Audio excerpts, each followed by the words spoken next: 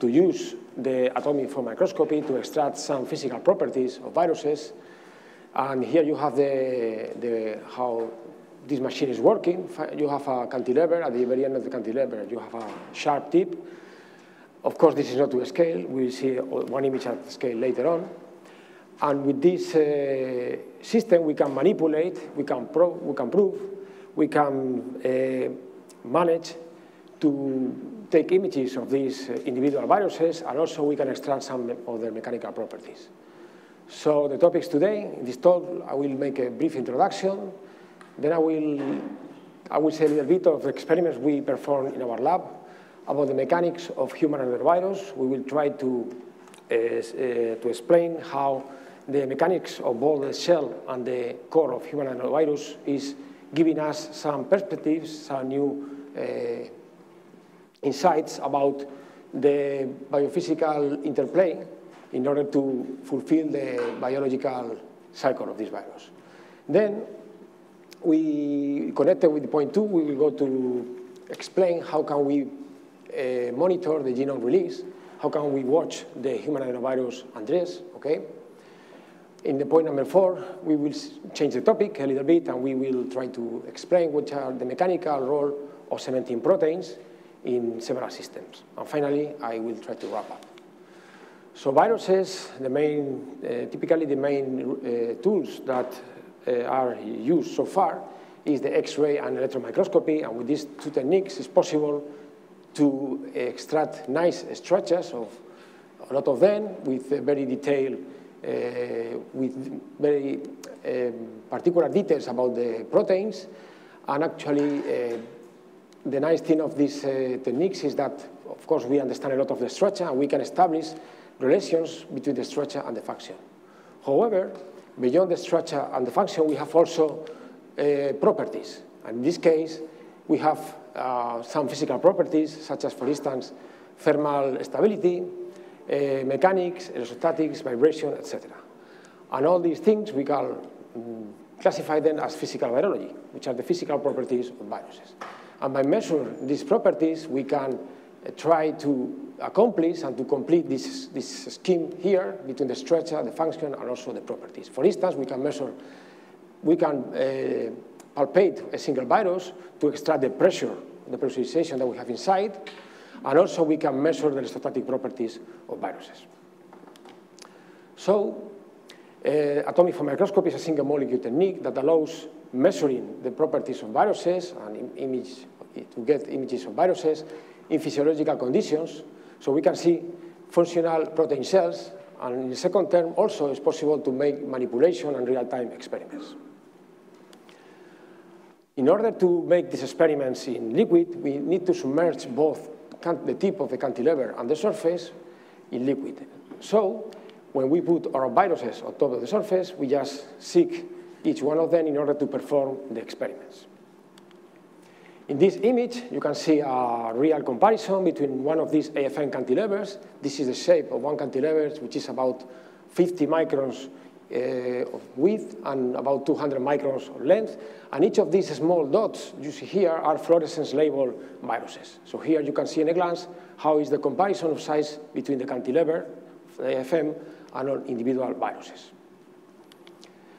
Actually, atomic force microscopy can be understood as a blind person with a white cane, which is probing the environment and is trying to get a virus and to see if there's a chair, a virus, or whatever. So if you get the picture of this guy here, you get the, the idea of, about atomic force microscopy. The typical approach we use for imaging viruses is jumping mode. In jumping mode, we are trying to see this guy here, this virus, by going back and forth with the AFM cantilever in such a way that when we are down, we are in contact with the surface or with the virus, we measure how much force and we control the force we apply on the virus, and, also, and then we release the surface, and once we are out of contact with the surface, we make the lateral displacement of the cantilever. In this way, we avoid dragging forces uh, acting on top on the viruses that can destroy them. Here you have an example of one human adenovirus particle. where is, is resting on top of a triangular facet. Here you can see a pentameric structure, just the penton, and also you can see the hexon. Actually, we apply a filter. We can distinguish, we can resolve much better, much better the details. Here you see the penton here, surrounding one, one, two, one, two, three, four, five capsomers. Actually, you can see the individual proteins which are on the capsomers too. On the other hand, also, if you make a zoom here, also you can see the trimers of the hexons. So you can see each trimer, and each trimer is conforming, in this case, one capsomer of the human adenovirus particle. So the main tool that uh, we are using for, in order for extracting the mechanical properties of viruses, we are using the atomic force microscopy cantilever as a hammer. Well, it's just a rough comparison, but somehow we are uh, poking on top of the virus with the cantilever, uh, with the tip, in such a way that first you deform the, the capsid a little bit, and after a while you break it. You surpass the breaking force. Actually, here in this cartoon, you see a better explanation what I said before. Here you see the stage number one, where the tip and virus are out of contact, which corresponds to this deformation, which actually is zero. There is no force applied to the, to the virus. Then in point number two, the cantilever starts uh, touching the virus at this point, and you see actually it's bended, it's bent a little bit. And this bending is detected in this sort of linear uh, deformation that is provoked by the deformation of the virus. We see the combined spring constant between the cantilever and the uh, virus. In the third part of the experiment, of the experiment once you go above the, the breaking force, you break the particle, and sometimes the particle is going away, sometimes the tip is penetrating inside the particle. Well, this depends on each experiment. But the important thing is that you see the third part as there is a sudden uh, decrease in the deformation force, which is going down. If you keep pushing at the very end, eventually you can find the slope one, the infinity slope, sorry, which means that you are uh, now deforming the cantilever on top of the surface. Here you have an example. In this case, this is a P22 bacteriophage particle. This is the particle before, and this is the particle after. So here we perform one of these single indentation assays, and then after you break the particle, you, see, you can see a little, uh, little hole right there. You can control how big is this hole by controlling the maximum force you apply to the, the, during the experiment. Let me make here a small digression about these experiments in order to focus in these, uh, in, these, in these cracks. When you make a crack in one of these viruses, usually this crack remains forever. Well, at least forever means that you stay hours and hours scanning there and the crack stays there. However, there are certain protein cells, uh, such as, for instance, the vault particles, which are protein cells that don't, they don't have a viral origin. And this particle which is also an nanometric size, it's possible to make one of these holes, as you can see here. And then after waiting a few minutes, you keep scanning on the surface, and at some point, the hole disappears. This property of cell healing that some of the protein cells uh, do have has been so far little investigated, and I think that this would be a nice uh, nice place to go on with this kind of research, just to see the determinants of how these little particles can recover themselves. Let me go back a little bit to the other slide, because from this curve we can extract, just let you know, we can extract two, two main mechanical parameters, such as the spring constant of the virus, which is given by this, by fitting a linear, uh, linear regression to this data here, and also the breaking force, which is telling us about how much force do you need to break the particle. So now let's go to the second topic, which is about the mechanics of human adenovirus uh, particles. Uh, first, as a brief introduction to human adenovirus, this virus has a size of about uh, 100 nanometers. And one of the particularities of this virus is that it packs double-stranded DNA together with uh, histone-like proteins. So it's not the same as the virus we saw this afternoon, okay, where we have bacteriophages packing a spool, uh, double-stranded DNA in a spool without the help of any protein. Here, this virus need to have proteins inside. And actually, 50% of the molecular weight of the core is, uh, is, are the histone-like proteins, and the other 50% of the mass of the core is given by the double-stranded DNA. So it's is, absolute, is absolutely condensed by these proteins. The process of this virus first is recognizing the, the wall of, of the cell. There is an endocytosis of this particle, and this endocytosis, there is a stepwise uncoating of the genome. So it means that in this case, the, par the particle is losing some parts, such as, for instance, pentons, fibers, hexon, etc., etc.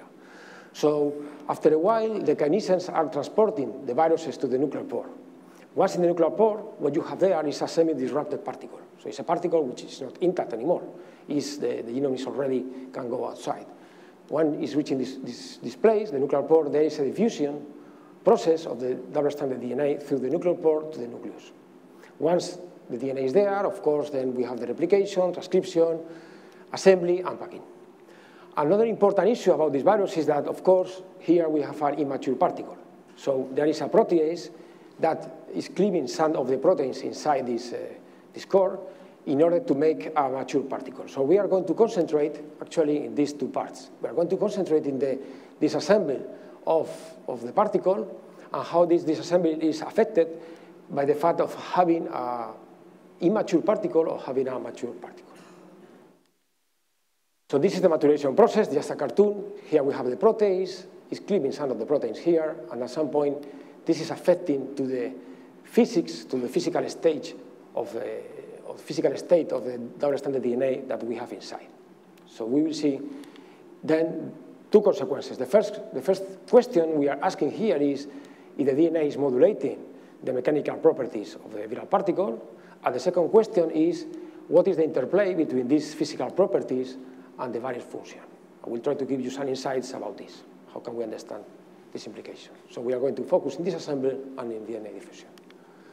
So in order to start experiments with AFM, it's always very important to control the symmetry or the absorption symmetry of particles. So here you, you have a two-fold symmetry axis particle. Actually, you, you see here two triangles. So the particle is resting on, on the ridge between two triangular facets. Here you have a five-fold symmetry axis particle, but you can see actually the penton right there. And finally, here you have the threefold uh, symmetry uh, particle where you see a triangular facet. We are, in order to make the mechanical experiments here, we are going to focus only in this particle because it's more stable than the other two particles. This particle is more stable because it's resting on top of uh, the whole facet. So it's better to make mechanical experiments. So the first thing we can do is, for instance, to make, uh, to try to see how much is the spring constant of what is the mechanical evolution, not only along maturation, but also in comparison with empty particles. So here we have an empty particle, no DNA inside. Here we have an immature particle, and here we have a mature particle. And as you see, roughly the spring constant, we could say that is going up. So why is this? Well, we can apply a mm, simple model by considering the, that the, the shell is contributing with a spring constant and that the, the genome or the DNA is contributing with other spring constants. So in this case, both spring constants are adding, okay. This is a very simple model, but if this model is correct, the results I just showed you in the other slide imply that the spring constant of the, st the stiffness of the core of the mature particle is, is bigger than the spring constant of the core of the immature particle. So this will, will be the implication. But is this implication true or not? Can we try to dig more a little bit in this, this question? Well, the problem is that we have the combination, and we're assuming something about the core which is inside, but we don't see the core. We don't know what is going on inside. So something we can do is we can manipulate the protein shell to open the shell, crack it, and access to the core inside.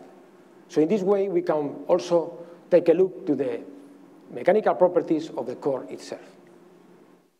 So in order to do that, we make these experiments. We start the indentation, a sequential indentation of all this parti of this particle. So this, in, this, in total, this particle has been indented, indented 10 times.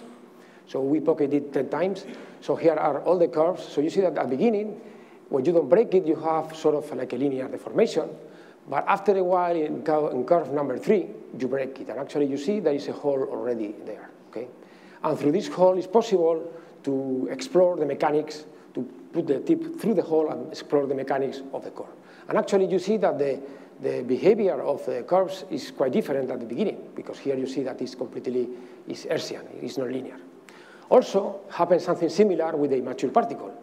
You start making sequential indentation, and at some point you open a crack, and again you get this kind of curves, which compare very well with that. So what is the difference between both? Well, we can try to adjust the, the deformation curves of, of the core uh, by using the Dimitriadis model. Okay, the Dimitriadis model is, uh, is taking the Hertz model, the Hertzian model of the formation, and is adapting to the fact that usually when you deform a biological sample, it has a finite, a finite uh, uh, uh just uh, one, one thickness. I mean, it's not, it's not infinite. Okay? So by using this, it's possible to get information about the Young modulus of the course. I will, I will tell you, don't pay too much attention to the absolute numbers. The numbers are not important here. The important here thing is, is the comparison between both numbers, because both numbers has, has been obtained using the same approach. So the important thing here is the comparison. Here you see that the Young modulus of the mature particle is very low, is reaching about 0.3 uh, megapascals, and in the case of the mature particle, they are reaching about 1.2 megapascal. Actually, you can see already by eye that the curves are quite different, the green and the blue. So the, the blue are from the immature particle, and the blue are from the mature particle. And this then it's in contradiction with the thing that we saw before, because before we saw that the spring constant of the intact particle, in the case of wild type, was bigger than the spring constant of the intact particle of the two particle. Okay? So this is suggesting that probably we have some pressurization inside, okay, in order to accomplish for these two things. You see that the core behaves completely opposite to the behavior of the spring constant of the intact particle. In order to see if we have pressurization or not, we can try to, uh, to play with counter ions, in this case with spermidine. By using spermidine, our goal is to condense the genome and try to make it harder after condensation. So this is what we do here. Here we make a new experiments. Here now we have the red curves. The red curves are provided by the uh, deformation of cores that have been uh, condensed with spermidine. And actually you see very interesting uh, behavior that consists that the value of the, the value of the, of the Young modulus is going from 0.3 uh, megapascals, about 0.8, 0.7 megapascals. But still is not reaching the condensation state of the immature particle. So this is telling us that we are able, with the spermidine, to condense the genome of, of the mature particle, but still the condensation is not good enough to reach the values of the mature particle. Well, in order to estimate the pressure we have inside, there are two approaches we used. The first approach is just to use this analytical formula that you can find in this nice publication. It's a formula that is giving you how much is the pressurization of a, of a spherical shell as you measure the spring constant with and without pressure. If you make the numbers, you get about 3 megapascals. The other, the other approach is uh, consider the, the virus, uh, I mean the, the, DNA, because it's condensed with histone proteins, okay? So it's not the same thing that bacteriophages. Hmm? So here you can consider as an unbranched polymer, and without going into details, you also can obtain a value of about 3 megapascals when you adjust the, the numbers to the expected values or the persistent length of one genome, which is contained with histones, okay, that you can find in the literature. Okay, so what is the model we propose? What is going on here? In principle, here we have these condensing proteins. For instance, you have protein 7, which is this sphere where the genome is wrapping around. But also, you have protein mu, which is this green one, that actually the structure is acting like a staple, which is grabbing two DNA strands together, okay, and are holding together the two DNA strands. However, when you have the maturation process, the protease is cleaving this, uh, is cleaving this um, protein, and then after cleavage, what happens is that this protein is not holding to the DNA uh, strands together anymore. So the DNA strands are free to feel the repulsion, there is total repulsion between them, and this is exerting certain pressurization against the wall. So what is the biological implication of this pressurization in maturation? Well, we know already from a few of these uh, references, for instance by Bill Clark and also by, uh, in our lab, that the weakest points on a shell are the pentons, okay, because they are under stress. So in this process of uncoating, what's happening is that there is changing several, um, uh, several conditions of the environment surrounding, in this case, the adenovirus. For instance, the pH or other ions. So what we propose is that this change is, is, is weakening even more the, the pentons, and this pressurization is helping to pop off the pentons from the, from the particle and helping for disruption that, that has to take place in order, in order to have the final infection. Okay? Well, this was with the uncoating, but what is going on with the diffusion of DNA? Is helping that for that or not? So this is the next question we are going to try to address. For this experiment, we are using a different mechanical approach. We are going to use fatigue. Fatigue means that instead of making a single indentation assay where we completely break the particle, we are going to gently touch and manipulate and massage the particle in order to make it lose some of the parts. Hmm? So we can do, we can do that with, uh, with the jumping mode. Actually, with jumping mode, you can touch the particle thousands of times for getting images. This is what you have to do. So at the same time that you apply uh, low force, in this case we are applying 100 piconewton, that I tell you is very low compared with the 3 nanonewton, 4 nanonewton you have to apply to break, to break the particle. So this force is really low compared with the breaking force. So when you do that, you can obtain, uh, you can monitor how is the disassembly process induced by mechanical stress. And this is actually what you see in these movies. Here you have the disassembly process of a mature particle. If you keep an eye on that, you can see that the first parts that are lost are first the pentons. And after a while, the particle collapses completely. The same thing happens when you are monitoring the immature particle. Again, you see that there are some cracks, some voids that are, are opening right on the pentons, and then after a while also collapse. So now we want to analyze the data that we can obtain from these movies. So, so in these curves, we are monitoring the size of the particle as a function of the time. Okay, so the time is telling us how many images are we taking of one of these particles. And here, we are, we are seeing the, the, the, height or the size of the particle. Each curve is a single virus. So here we have one, two, three, four, five, six, seven viruses. Here we have something similar, in this case with immature particles. Each curve is a single virus. And again, we have something about seven viruses. Well, so what is going on in the mature particle? In the mature particle, you see that first, the particle is keeping the size quite well. But at some point, after a few, after a few images, the particle uh, collapses. And actually, the tip is getting very low uh, heights inside, the, part, inside the, the virus. You see are actually at very low heights, and all of them are random. Okay? However, in the mature particle, the things change. You see that you, first the particle is keeping the size, but after a while, the size is going down, a fixed value for each virus. You see, it's about 25 nanometers. For each virus, the same. So the, here there's a pattern. Where is coming from this pattern? We think that this pattern is coming from the fact that you are removing only the shell of the, of the virus, but you are, not, you are not able of digging inside the core. So this is like taking an orange. You take an orange and you peel it, okay, you can remove the wall of the orange, you can, and, and the orange remains intact inside. So here is some, happening something similar. You remove the wall, but here, because the genome is condensed, okay, then the, you cannot manipulate the core, and then uh, the size you see here is the size of, of the core plus the size of the wall there. And actually, what we propose is that the mature particle, the DNA escapes as soon as you break the, the cage, However, in the immature particle, you break the cage, but the genome remains condensed.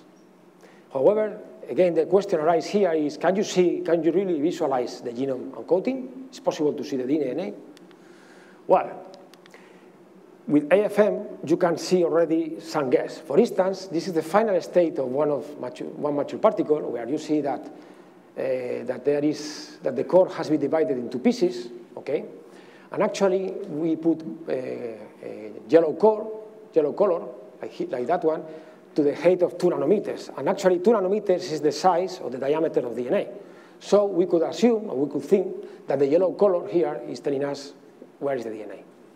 Also, you see these black, uh, these black pieces, and the black pieces are the capsomers that have been removed during the experiment. Here, in the case of the mature particle, it happens something similar. However, now, you don't see so much yellow color, you don't see so much DNA, okay, you may say, and also the core remains intact in one single piece, not in two pieces like here, okay? And again, you see the black, uh, the black uh, pieces that are the capsomers coming out from the experiment. So uh, still the question remains, can we see the, the genome? In order to address this question, we are going to use fluorescence microscopy combined with atomic force microscopy, both at the same time, both simultaneously.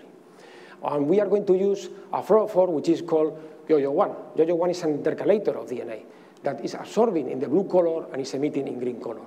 But it is only emitting in green color as soon as it binds to the DNA.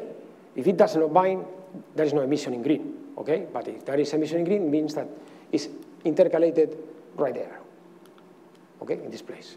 So what is the experiment we propose? We propose to break the particle in the presence of YOYO1 uh, molecules. So these green uh, balls here are the YOYO1, which are expecting, which that want to access, they want to access to, to the DNA, but the DNA is in the cage, so we don't have any light. What do we have to see light? What we have to do, we have to break the cage, okay? If we break the cage, then the yo-yo is going to be able to intercalate it to the DNA, and then we expect to see some light coming out. So basically the experiment we propose, this is an artistical rendition, just to show the, the experiment. We want to poke on the, on the virus, we want to see the light coming from the DNA. And actually, this is what we'll see here. This is a bright field image, this is the cantilever, and the tip is somewhere there. Hmm? So I, I ask you to pay attention to the center of the circle, of the orange circle, where we are going to locate the virus and we are going to poke it. We are going to destroy it. Hmm? Now we change to total internal reflection, fluorescence, and when we change, the cantilever disappears, and we see only what is going to happen at the surface, hmm, with total internal reflection. So when we start the experiment, at the beginning, as you can see, there is no light coming there. Now we go there, we poke the virus, we break it, and you see that there is a spot which is going up there, that is arising. So this light there is coming from the DNA which was, that was packed in one of these uh, particles. So here I can show you the, the whole experiment in a better way. This is the intact particle with atomic force microscopy. This is the background noise of the fluorescence, no, no light at all. Then this is the particle after you break it, and this is the, the light that you have after you break it. So you see that when you break it, you have light. If you don't break it, no light. So the yo-yo is telling us the DNA is there, okay, is, is, is being released. Actually here, you see the combined curve of the orange one is the force curve, the indentation curve, which is telling you that the particle is breaking in this point, okay? And the green curve is telling you the, the behavior of the light. So first you have background noise, and as soon as you break it, the light is going up and up, because you, have, you are releasing, in this case, the genome. So if you make some statistics, you can compare how it released the genome from the mature particle, which is the green curve, and the mature particle, which is the blue curve. Hmm? And actually, this axis is the, the, time of the experiment. So once at the beginning you see that there is no light because we don't break it. After you break it, the light is going up very fast for both kind of particles. But at some point, you see that the mature particle is growing faster, a little bit faster than the light coming from the mature particle. So this is telling you, again, that the, it's telling you that the genome released by the, by the mature particle uh, releases better, or let's say the other way. The yo-yo one is, uh, is uh, for, for the yo-yo one is more easy to find the release genome in the case of the mature particle than in the case of the mature. And we think that this has to do something with the condensation of the DNA. Also, you, other parameter you can measure is the width of one of these spots. If you measure the width, you can see that again the width uh, of, of the wild-type particle is larger than the width of the mature particle. Again, it's telling you that the yo-yo access much more easy to the uh, genome of the mature particle or to the genome of the mature particle. Well, in this experiment, uh, we are playing something similar, but in this case, we are making fatigue. We are just breaking the particle step by step. And you see that as soon as you break the particle, there is some light already coming out from the virus. So it means that the yo-yo is interacting somehow with the, with the DNA. We don't, don't know still, we don't know yet if the genome, if the JoJo one is going inside through the pentons, through the cracks we are inducing, or if the DNA is going outside and then it's, it's finding the JoJo. We still are trying to make experiments to figure out this issue. So, well, the conclusion here is very easy. Is first, the mature core spreads more the genome, and in this case, that the immature emits particles, emits less photons. So it's very, very general, very general response that wrap very well with the, with the mechanics that we saw in the other part of the talk. Now, let's go to the last part of the talk, which is about the mechanical role of cementing proteins. And the cementing of the decorative, decorative proteins are an alternative strategy to strengthen virus capsids during maturation. I mean, some particles, when they mature, they change the interaction between the capsomers, they change the, the contact area between the bonds between the capsomers, but some particles, they have the evolution, uh, they provide with different mechanisms. The different mechanisms is to strengthen the particle by using cementing proteins. So these proteins are covering the external part of the virus. So we already were um, doing some work quite a few years ago on lambda phage. And the lambda phage here, you see in blue color is the coat protein, and in orange color, you see the uh, cementing protein. And in this case, we figured out two things. The first thing is that there was a change of the mechanical properties induced by the decoration of the, of the, of the cementing protein. So here you see the breaking force and the spring constant. And this is for the undecorated particle. You see about this value. However, now you put the decorating proteins, and what happens is that both the spring constant is going up to this value, okay, and also the breaking force is, is going up. So the particle is getting stiffer, and the particle is getting also less fragile, because you can apply more force without breaking the particle. This is the case with lambda phage. Now, also having something similar with fatigue. When you play experiments with fatigue, we saw that when you have decorative, the particles that are decorated with the cementing protein, they need more loading cycles in order to be destroyed than the case of the particles that were undecorated. So now the question is, can we use this philosophy to recover, for instance, weakened protein cells Let's assume that you have a weakened protein cell that with some defects, and you want to recover it because you know that it's very weak. Can we use the approach of putting cementing proteins like a general rule? For like in this case, you are putting these bolts in order to fix these panels to the wall. Okay, so the wall here is, is very weak and can fall down. Okay, but here, once you put the bolts, you don't have this problem. So we are going to use, to, in order to address this question, the P22 bacteriophage capsid. With this capsid, it's very nice because you have a large variety of structures. For instance, here you have the expanded particle, but by heating the expanded particle at 65 degrees during 20 minutes, you can remove the pentons. So you can actually remove the pentons and you can create a new structure which is called wiffle ball, which is the same structure than before, but in this case without pentons.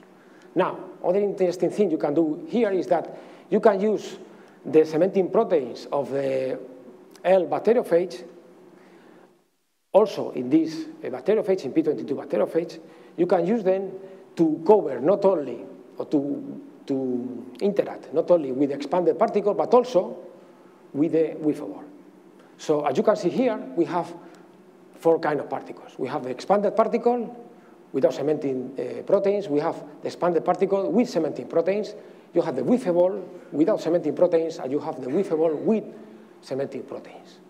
So we expect that with all this variety of particles we have here, we will be able of addressing how is the mechanics or how can we manage uh, to manipulate the mechanics of the particles with the cementing protein. So the first glance that you can see here is, is the partial collapse of the particle of the surface. Actually, I was discussing with Bogdan and Wouter, I think, in the lunch about this issue, okay? So here, you see for images, this is a five-fold symmetry axis-oriented uh, expanded particle. This is a, a, decorated expanded particle. This is a wiffle ball, and actually the wiffle ball, you can see the three, these three pentons are missing because it's a wiffle ball. And here, again, even if it is decorated, but the three pentons are also missing. So what happens when you put one viral, viral, particle on top of the surface? If this is the virus particle, you put on the surface and there is a partial collapse of the particle on the surface. So if you pay attention to the size of the particles when they are absorbed on the, on the surface, you can already learn something about the resistance or about the mechanics of your particles. So let's see that. So here in this graph, I am showing you the size of, the average size of the height of, of expanded particle and the expanded particle plus the collision protein. Okay, so I finish. So here you see there is an increment in, in, in, the, in the size, so it means that the the decorative particle collapses less than the undecorated particle. Something similar is happening with the wiffle ball. The wiffle ball is collapsing a lot. You see it's reaching collapses of about 80%. So it's getting on only the 80% of the original size. However, as soon as you put the cementing protein, you are recovering almost 88% of the original size. So this is telling you already how, how it's going to be the mechanical behavior. Also, you can play, you can check the statistic, the, the, the chemical resistance against, for instance, SDS. SDS is a protein denaturan, okay? So you put SDS for expanded and ball particles, you see that the expanded particles are resisting much better than the ball. However, when you put the when you put the cementing proteins and you compare the, the ball with cementing proteins, here you see that the black curve is remaining almost constant. So the cementing proteins are making the particles more resistant. Well, I just changed the last slide here. Here we calculate how much energy you have to apply to break one of these particles. You calculate this energy as actually this area below the curve, and you see here, you can compare the energy in kBTs you can compare that the, the wiffle ball, you have to apply very low energy, about uh, 700 kBTs, but as soon as you put the decoration proteins, you have to apply an energy of about 1,500 kBTs in order to break the particle. And something similar is happening also with expanded, but it's more exaggerated in the case of wiffle ball. So with this, I finish my talk, and I want to, to thank to, mainly to my students, which are taking part of the major work here, and actually, I tell you that, for instance, uh, Manuel and Paco, they have uh, two posters that they will be very happy on showing you. And also I want to thank to my collaborators, mainly to Carlos Catalano, Carmen San Martín, David Reguera, Iwan Schaap, Nuria Verdaguer, and Trevor Douglas. Thank you very much for your attention.